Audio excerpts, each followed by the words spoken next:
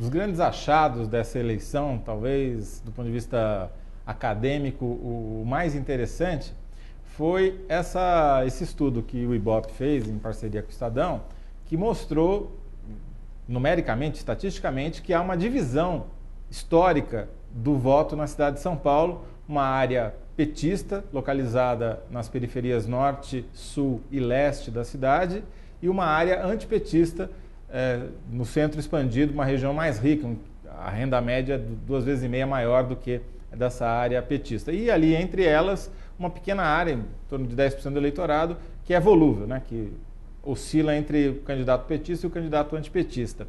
Aqui você atribui a, a, a, eleição, dessa vez, a eleição do candidato do PT, foi a invasão do eleitorado da, da área petista na área não petista? Como é que você explica isso geograficamente falando?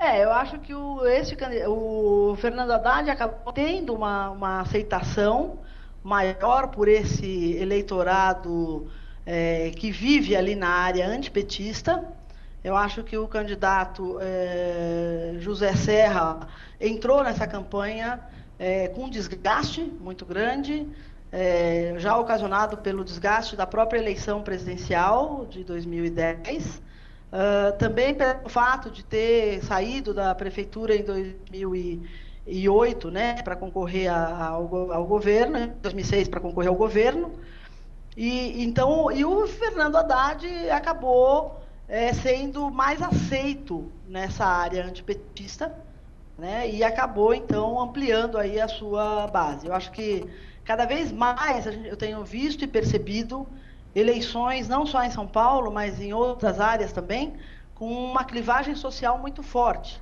Né? Então isso acho que acaba fazendo mais essa divisão mesmo no eleitorado. E o, o, não só aqui, né? A gente viu isso também em outras capitais aí.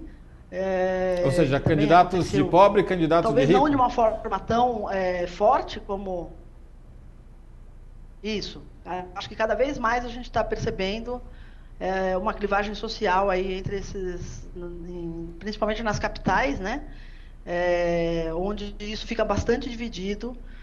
São as políticas, é, o, o, as demandas de cada um é, dessa área geográfica aí da, da, dos eleitores acaba sendo diferente, né?